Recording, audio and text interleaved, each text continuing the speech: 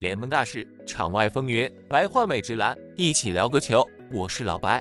七月八日，休赛期的勇士并没有什么很好的补强，球队除了引进迪温琴佐之外，目前还没有实质性的补强计划。而球队还流失了小佩顿、波特等一些冠军球员。而勇士的管理层，下个赛季的希望不是寄托在自由市场，而是在自己队内天赋的挖掘。所以，金州勇士即将迎来他们的关键夏季联赛——拉斯维加斯夏季联赛。这次联赛当中，勇士队的大批王牌主力都将登场，库明加、努迪、怀斯曼。这些都是跟着勇士拿到总冠军的球员，而他们都会出现在本次联赛上。同时，勇士队的主教练马莱莱拉在最新一期采访时公开表示了，要在夏季联赛培养库明加的控球能力。看来勇士或许已经做好了让他顶替大卧底追梦格林的准备。而勇士下个赛季的前景几乎就压在库明加与怀斯曼这两个球员身上。根据报道，勇士助教马莱莱拉谈到了无位置篮球的话题，他表示。库明加能打二号位、三号位、四号位，甚至包括五号位，并称库明加可以成长为五号位控球手。新秀赛季，科尔就多次把库明加顶到五号位的位置上面。随着格林逐年的下滑，心思也不在球场上面。如今的库明加确实是替代格林最有潜质的球员。从勇士的培养方向来看，库明加有点偏向字母哥的方向发展。除了身体素质之外，控传。投篮都是球队培养的方向。根据勇士队内休赛期的消息，库明加如今又上升了一个层次。勇士下个赛季想要继续冲击冠军，那么库明加的年轻球员一定要打出自己的顺位天赋出来，这样勇士才有可能冲出西部。而现在勇士阵容只有格林在勇士队就是能从二打到五的，至少在防守端就是如此。他在总决赛上负责防对面的杰伦布朗，这已经是防二号位了。而运球的时候，除了库里，剩下的人的运球顺位都是比格林靠后的。就格林能够运球过半场，只有库里要球的时候，格林才会把球给他，其他的人都得看着格林过去。这难道就不是一个差距吗？现在要培养库明加，又有这样的能力和地位，说白了就是在取代格林。一个是四号位位置上的控球点，那么还有一个是运球进攻能力。如果做好这两点，勇士就不用太依赖格林了。总决赛格林的卧底行为也已经让勇士全队，尤其是球队的高层有点受不了了。他现在已经有点分不清自己的定位。而另外一边，今日一早，雅虎记者 Chris Haynes 报道了一则关于杜兰特的消息。自从 KD 申请交易后，我与多位尝试联系他的球星进行了交流，结果是联系不上，电话不接，信息不回。现在的他不与人交流，彻底进入了静默状态。你唯一能看到他走出静默的方式，是他当他逛推特的时候。鉴于消息的报道者为 Hayes，身为业内前三的 NBA 新闻记者，就新闻可信度这一点来说是比较高的。那么回到 Hayes 所提到的问题，KD 真的自闭了？篮网这哥仨吧，如果是西蒙斯自闭，我能理解；是欧文自闭，我也能理解。毕竟那俩哥们的思维方式本身就接近于修仙了，不是啥常规范围。可 KD 这人吧，他以前也不这样啊，咋就突然自闭了呢？一方面可能是情绪的影响，另一方面是逼迫管理层交易自己的手段。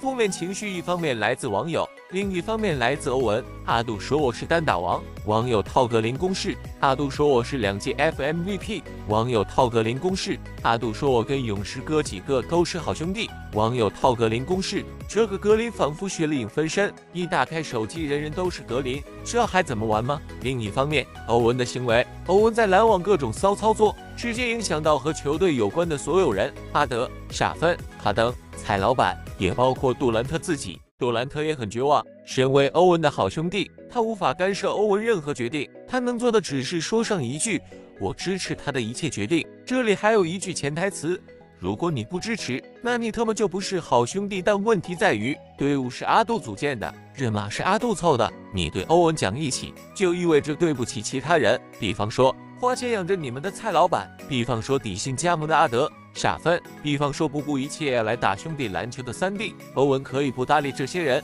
但杜经理的负责收拾烂摊子，那心情能好了吗？一地鸡毛，使得阿杜不愿意与外界私下交流，或者说闹到这个地步，他自己也不知道自己究竟想要什么，想要兄弟，想要总冠军，想证明自己，事情太多了，不如彻底封闭自己，徜徉在推特的海洋，放松一下吧。当然，还有一个更重要的原因。为了逼迫篮网交易自己，近几年篮网始终以老实人形象示人，各种逆来顺受。这个休赛期却完全不同了。欧文不是想修仙吗？拜拜了您嘞！阿杜不是想离队吗？指定下家不可能，只有价高者得。这种情况下，阿杜想要离队，且想要指定下家，怎么办？那就只能学习西蒙斯了。西蒙斯担心杰律大半个赛季，逼迫费城将其交易，心满意足的来到篮网。回想一下，现在的阿杜。和当时的西蒙斯是不是有点像？电话不接，短信不回，彻底封闭自己。当然，现在的阿杜要比当时的西蒙斯好点，毕竟你还是能看到阿杜在推特上与网友对线，和新秀有说有笑。他仅仅是私下里不接电话、不回信息，这意味着阿杜是在选择性自闭，还没有完全撕破脸。什么叫选择性自闭呢？如果篮网愿意将自己送去太阳，那就不自闭了；如果不愿意，还是得自闭一会儿。阿杜这个行为要持续多久？目前没人清楚。他会不会学着西蒙斯故意不打球？我希望他不要这么做，毕竟西蒙斯的下场我们都看在眼中，名声没了，工资被扣，加盟了他心心念念的篮网，最后得到的也仅仅是一地鸡毛。我知道看到这里。可能会有很多球迷想吐槽阿杜，但我想说一句，恐怕现在的阿杜也不知道自己想要的究竟是什么。唯一确定的一点是，他对自己的现状不满意。阿杜的态度一直是不满意，那就换。可是从俄城换到金州，再到布鲁克林，他始终没能明白一个道理：不论换到哪里，总会有不满意的地方。世间哪有十全十美？遇上麻烦，亿万富翁也好，平民百姓也罢，别逃避，日子总得往前过，说不定走着走着就看到奇迹了呢。想要创造奇迹的人，首先你得相信奇迹。就像去年休赛期诉说着明年没人想碰我们的史蒂芬库里一样，那时候或许只有库里一人相信奇迹会发生。后来奇迹真的出现了。最后一则关于欧文交易的消息，据 B R 记者 Eric Pincus 报道，有消息人士透露。湖人和篮网试图在以欧文、威少为主体的交易中拉上马刺来形成第三方交易。湖人渴望得到欧文，这不光能加强球队下赛季战力。同时还能作为谈判条件，要求詹姆斯做出续约保证。马刺恰好拥有薪资空间距离下赛季奢侈税线大概有五千七百万差距，正好是威少加塔克的价格，且下赛季将摆烂，完全具备吃下垃圾合同的能力。但前提是要给到足够的选秀权。篮网这边可以通过交易彻底解决欧文的合同问题，另一方面也可以借机处理掉乔哈里斯的垃圾合同。目前比较有可能形成的交易方案大概是这样。马刺得到湖人送出的威少加塔克加二零二七年首轮加二零二九年首轮，湖人得到篮网送出的博文加乔哈里斯，篮网得到马刺送出的麦克德莫特加约什、理查德森加博尔特尔加一个巨额交易特例。倘若未来这三家这要完成交易，合同细节可能会有所改动，但整体架构应该不会有太大改变。但是吧，对于各支球队来说，这个交易方案有可行性，却不够吸引人。就说马刺吧。人家送出那哥仨，个个都算得上还不错的优质合同。按照马刺做交易的脾气，只吃两个首轮，是不是有点不够？再说篮网吧。虽然这笔交易帮篮网解放了空间，且顺便处理掉了欧文和乔哈的合同，甚至还得了个交易特例，但按照篮网现在做交易的意思，他们也想要选秀权。湖人去哪里搞？目前湖人能拿得出手的只剩二零二七、二九年的首轮以及部分次轮，能够满足马刺和篮网两队的胃口吗？